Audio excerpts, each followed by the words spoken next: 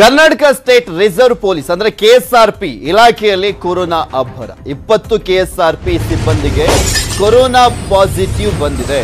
ನಾಲ್ವರು ಆಸ್ಪತ್ರೆಯಲ್ಲಿ ಅಂದ್ರೆ ಟ್ರೀಟ್ಮೆಂಟ್ ಅನ್ನ ಪಳ್ಕೊಡ್ತಿದ್ದಾರೆ ಇನ್ನು ಉಳಿದಂಥವರು ಹೋಮ್ ಐಸೋಲೇಷನ್ ಆಗಿದ್ದಾರೆ.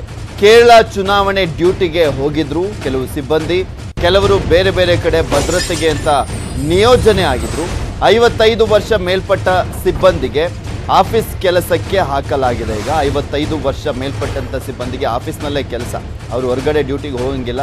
ಸೊ ಒಳ್ಳೆ ನಿರ್ಧಾರ ಇದು. ಯಾಕೆಂದರೆ ಐವತ್ತು ವರ್ಷ ಮೇಲ್ಪಟ್ಟಂಥವ್ರಿಗೆ ಬೇಗ ಕೊರೋನಾ ಅಟ್ಯಾಕ್ ಆಗಿಬಿಡುತ್ತೆ ಅನ್ನುವಂಥದ್ರ ಬಗ್ಗೆ ನಾವು ಫಸ್ಟಿಂದಲೂ ಕೂಡ ಹೇಳ್ತಾ ಇದ್ವಿ. ಕೊರೋನಾ ಆರಂಭ ಆದಾಗಿನಿಂದಲೂ ಕೂಡ ಮೊದಲ ಅಲೆಯ ಸಂದರ್ಭದಲ್ಲೂ ಕೂಡ ಈ ರೀತಿಯಾಗಿ ನಿರ್ಧಾರವನ್ನು ಕೈಗೊಳ್ಳಲಾಗಿತ್ತು. ಸಾಕಷ್ಟು ಇಲಾಖೆಗಳು ಈ ರೀತಿಯಾಗಿ ನಿರ್ಧಾರವನ್ನು ಕೈಗೊಂಡಿದ್ವು. ಪೊಲೀಸ್ ಇಲಾಖೆನೂ ಕೂಡ ಕೈಗೊಂಡಿತ್ತು. ಎರಡನೇ ಅಲೆಯ ಸಂದರ್ಭದಲ್ಲೂ ಕೂಡ ಅದೇ ರೀತಿಯಾದಂಥ ನಿರ್ಧಾರವನ್ನು ಕೈಗೊಂಡಿದ್ದಾರೆ. ಹೊರಗಡೆ ಕೆಲಸಕ್ಕೆ ನಿಯೋಜನೆ ಮಾಡದಂತೆ ಗಾಲಡಿ ಸೂಚನೆಯನ್ನು ಕೂಡ ನೀಡಲಾಗಿದೆ.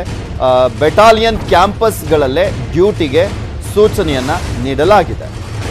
ಐವತ್ತೈದು ವರ್ಷ ಮೇಲ್ಪಟ್ಟಂಥವರಿಗೆ ಅಲೋಕ್ ಕುಮಾರ್ ಅವರು ಸೂಚನೆ ಕೊಟ್ಟಿದ್ದಾರೆ ಅನ್ನೋದ್ರ ಬಗ್ಗೆ ಮಾಹಿತಿ ಇದೆ ಯಾಕೆಂದ್ರೆ ಅವರೇ ಅದಕ್ಕೆ ಮುಖ್ಯಸ್ಥರು. ಸೊ ಹೀಗಾಗಿ ಅವರು ಸೂಚನೆಯನ್ನು ಕೊಟ್ಟಿದ್ದಾರೆ. ಸಾಕಷ್ಟು ಜನ ಕೇರಳ ಚುನಾವಣೆಗೆ ಹೋಗಿದ್ರು. ಕೆ ಎಸ್ ಆರ್ ಪಿಯನ್ನು ಅಲ್ಲಿಗೂ ಕೂಡ ನಿಯೋಜನೆ ಮಾಡಲಾಗಿತ್ತು ಈ ಸಂದರ್ಭದಲ್ಲಿ. ಸಾಕಷ್ಟು ಜನರಿಗೆ ಕೊರೋನಾ ಪಾಸಿಟಿವ್ ಆಗಿದೆ. ಯಾಕೆಂದ್ರೆ ಕೇರಳದಲ್ಲಿ ಆ ಟೈಮಲ್ಲಿ ಚುನಾವಣೆ ನಡೀತಾ ಇತ್ತಲ್ಲ, ಆ ಟೈಮ್ನಲ್ಲಿ ತುಂಬ ಕೊರೋನಾ ಪ್ರಕರಣಗಳಿದ್ವು. ಎಂಟು ಸಾವಿರ ಏಳುವರೆ ಸಾವಿರ, ಈ ರೀತಿಯಾಗಿ ದಿನನಿತ್ಯ ಪ್ರಕರಣಗಳು ವರದಿ ಆಗ್ತಾ ಇದ್ವು. ಆ ಸಂದರ್ಭದಲ್ಲಿ ಮತ್ತೊಂದು ಕಡೆ ಚುನಾವಣಾ ರ್ಯಾಲಿಗಳು ಸಾವಿರಾರು ಸಂಖ್ಯೆಯಲ್ಲಿ ಜನ ಸೇರ್ತಾ ಇದ್ದಂಥ ಸಂದರ್ಭದಲ್ಲೂ ಕೂಡ ನಿಯಂತ್ರಣ ಮಾಡುವಂಥ ಸಂದರ್ಭದಲ್ಲಿ ಯಾರಿಂದ ಬಂದಿರುತ್ತೋ ಏನೋ ಗೊತ್ತಿಲ್ಲ. ಒಟ್ಟಿನಲ್ಲಿ ಇಪ್ಪತ್ತು ಜನಕ್ಕೆ ಬಂದಿದೆ ಕೆ ಎಸ್ ಆರ್ ಪಿ ಇಲಾಖೆಯಲ್ಲಿ ಅದರಲ್ಲಿ ಒಂದು ನಾಲ್ಕು ಜನ ಆಸ್ಪತ್ರೆಯಲ್ಲಿ ಟ್ರೀಟ್ಮೆಂಟನ್ನು ಪಡೆದುಕೊಳ್ತಾ ಇದ್ದಾರೆ. ನಾಲ್ಕು ಜನ ಆಸ್ಪತ್ರೆಯಲ್ಲಿ ಟ್ರೀಟ್ಮೆಂಟನ್ನು ಪಡ್ಕೊಳ್ತಾ ಇದ್ದಾರೆ ಅಂದರೆ ಸಿಂಪ್ಟಮ್ಸ್ ಇರುವಂಥ ಹಿನ್ನೆಲೆಯಲ್ಲಿ ನಾಲ್ಕು ಜನ ಆಸ್ಪತ್ರೆಯಲ್ಲಿ ಟ್ರೀಟ್ಮೆಂಟನ್ನು ಪಡ್ಕೊಳ್ತಾ ಇದ್ದಾರೆ. ಉಳಿದಂಥ ಹದಿನಾರು ಜನ ಅವರು ಓಮಲ್ ಅಂದರೆ ಮನೆಯಲ್ಲೇ ಐಸೋಲೇಷನ್ ಆಗಿ ಅಲ್ಲೇ ಟ್ರೀಟ್ಮೆಂಟ್ ಪಡ್ಕೊಳ್ತಿದ್ದಾರೆ. ನಮ್ಮ ಕೆ ಎಸ್ ಆದ್ರೆ ನಾವು ಈಗ ತೊಂಬತ್ತೇಳು ಪರ್ಸೆಂಟ್ ಅವರು ಲಸಿಕೆ ಅವರು ತಗೊಂಡಿದ್ದಾರೆ. ಅವರಿಗೆ ಮತ್ತೆ ಮಾತ್ರ ಮುನ್ನೂರು ಜನ ಅವರು ತಗೊಂಡಿಲ್ಲ, ಯಾಕಂದ್ರೆ ಅವರಿಗೆ ಬೇರೆ ಬೇರೆ ಒಂದು ಮೆಡಿಕಲ್ ಅಡ್ವೈಸ್ ಸಲುವಾಗಿ ನಾವು ಅವ್ರಿಗೆ ಅವರು ತಗೊಂಡಿಲ್ಲ. ಆದರೆ ಬೇರೆ ಜನ ತಗೊಂಡಿಲ್ಲ. ಅದಕ್ಕಾಗಿ ನಮ್ಮ ಕಡೆ ಪಾಸಿಟಿವಿಟಿದು ಪ್ರಮಾಣ ಆಗಲಿ ಮತ್ತು ಸುದಯದಿಂದ ಯಾವುದು ಸಾವು ಈಗ ಇದಕ್ಕೆ ಆಗ್ತಿದ್ದು ನಮಗೆ ಆಗಿಲ್ಲ. ನಮ್ಮವರು ಹದಿನ, ಹತ್ತೊಂಬತ್ತು ಅದು ಕೇರಳ ರಾಜ್ಯಕ್ಕೆ ಅವರು ಹೋಗಿದ್ರು ಚುನಾವ್ ಕರ್ತವ್ಯಕ್ಕೆ ಅಲ್ಲಿ ಹೋದಾಗ ಎಂಟು ಜನಕ್ಕೆ ಸೋಂಕು ಆಯಿತು ಒಬ್ಬರು ಅಸಿಸ್ಟೆಂಟ್ ಕಮಾಂಡೆಂಟ್ ರಾಜು ಲಂಗುಟಿ ಸೇರಿ ಅವರು ಮ್ಯಾಂಗ್ಳೂರ್ ಬಟಾಲಿಯನ್ ಕಮಾಂಡೆಂಟ್ ಇದ್ದಾರೆ ಎಂಟು ಜನಕ್ಕೆ ಅಲ್ಲಿ ಆಗಿತ್ತು. ಮತ್ತೆ ಈಗ ನನ್ನ ಪ್ರಕಾರ ಒಟ್ಟಾರೆ ಇಪ್ಪತ್ತು ಜನಕ್ಕೆ ಇದು ಸೋಂಕು ಆಗಿದೆ ಅದು ಇಪ್ಪತ್ತು ಜನ ಒಳಗಡೆ ಮಾತ್ರ ನಾಲ್ಕು ಜನ ಹಾಸ್ಪಿಟಲ್ನಲ್ಲಿ ಈಗ ಅಡ್ಮಿಟ್ ಇದ್ದಾರೆ. ಬೇರೆ ಜನ ಅವರು ಹೋಮ್ ಐಸೋಲೇಷನ್ ಇದ್ದಾರೆ. ಮತ್ತೆ ನಾವು ಈಗ ಬೇರೆ ಬೇರೆ ಯಾವ್ಯಾವ್ದು ಒಂದು ಕಾಸ್ಟ್ ಪ್ರಿಕಾಷನರಿ ಮೇಜರ್ಸ್ ತಗೊಳ್ಬೇಕಾಗಿತ್ತು. ಈಗ ಐವತ್ತೈದು ವರ್ಷಕ್ಕಿಂತ ಜಾಸ್ತಿ ಏನು ಯಾರಿಗೆ ವಯಸ್ಸು ಇದೆ. ಅವ್ರಿಗೆ ನಾವು ಯಾರು ಹೊರಗಡೆ ಹೋಗಬಾರ್ದು ಹೊರಗೆ ಹೊರ ಕರ್ತವ್ಯಕ್ಕೆ ನೇಮಕ ಅವ್ರಿಗೆ ಮಾಡ್ತಾ ಇಲ್ಲ. ಅವ್ರ ಹೆಡ್ ಕ್ವಾರ್ಟರ್ ಇರಬೇಕು ಹೆಡ್ ಕ್ವಾರ್ಟರ್ ಪ್ರಿಮೈಸ್ ಕೆಲಸ ಮಾಡಬೇಕು, ಅದು ಬಿಟ್ಟು ಬೇರೆ ಕಡೆ ಹೋಗ್ತಕ್ಕದ್ದಲ್ಲ.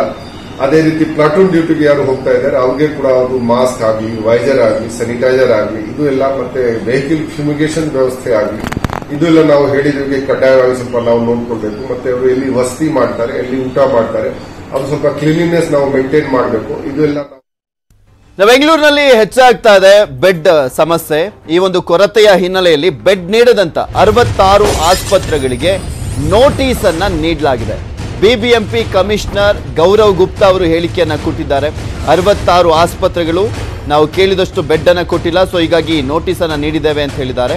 ಪ್ರತ್ಯೇಕ ತಾತ್ಕಾಲಿಕ ಆಸ್ಪತ್ರೆ ನಿರ್ಮಾಣಕ್ಕೆ ತೀರ್ಮಾನವನ್ನು ಕೂಡ ಮಾಡಲಾಗಿದೆ. ಸಾವಿರ ಬೆಡ್ಗಳ ತಾತ್ಕಾಲಿಕ ಐಸಿಯು ಆಸ್ಪತ್ರೆಯನ್ನ ತೆರೀತಾರಂತೆ ರಾಜ್ಯ ಸರ್ಕಾರಕ್ಕೆ ಪ್ರಸ್ತಾವನೆಯನ್ನ ಕೊಟ್ಟಿದೆ ಬಿಬಿಎಂಪಿ. ಎರಡು ದಿನಗಳಲ್ಲಿ ಖಾಸಗಿಯವರಿಂದ ಬೆಡ್ ಅನ್ನ ಪಡಿತೇವೆ.